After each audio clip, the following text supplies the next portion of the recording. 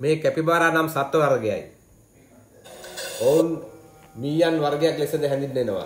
සාමාන්‍යයෙන් මෙම සසුන් රාත්තල් 100කට වඩා වැඩි වර්ගකින් යුක්තයි. උන් බොහෝ විට ආහාර ගන්නේ තනුපල සහ පලා වර්ගයි.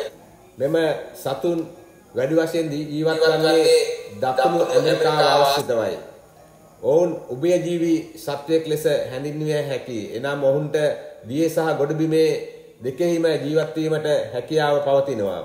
මෙම සතුන්ගේ කකුල් තාරාවන් සහ ගෙම්බන් මෙන් එකට බැඳී තිබීම හේතුවෙන් ඔවුන්ට පහසුවෙන් පිහිනීමට අවස්ථාව තිබෙනවා.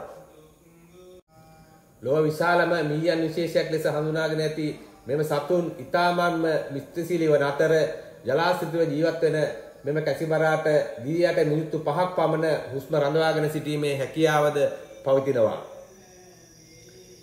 ශාකභක්ෂක කැපිබරා කණ්ඩායම වශයෙන් ජීවත් වීමට කැමැත්තක් දක්වන සත්වයෙක්.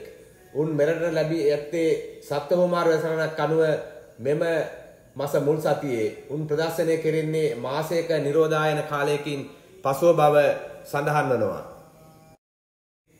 මෙම සුවිශේෂී සතුන් වර්ගයේ ඔබේ දරුවා දරුවා සමග දෙහිවල හෝ පින්වල සත්වෝද්දනයට ගොස් නැරඹීමට ඔබට අවස්ථාව තියෙනවා.